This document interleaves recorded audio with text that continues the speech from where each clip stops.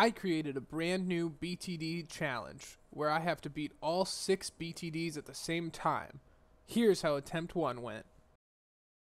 First attempt. Here we go. Here are the rules. All the games have to be running at the same time, and if I lose one, I lose them all. It's not good. Oh, we're leaking. This is so hard to keep everything straight. Oh, we forgot about you. One. One is uh, three is just not letting me do anything for now. Uh, we are in trouble here on six. We are trouble on all of them. I don't. I don't even know. How's six going? Six is actually not going badly anymore. Oh yes, it is. We're gonna lose six. We lost six, boys. Subscribe and like for more, and let's see if attempt two can get a little further.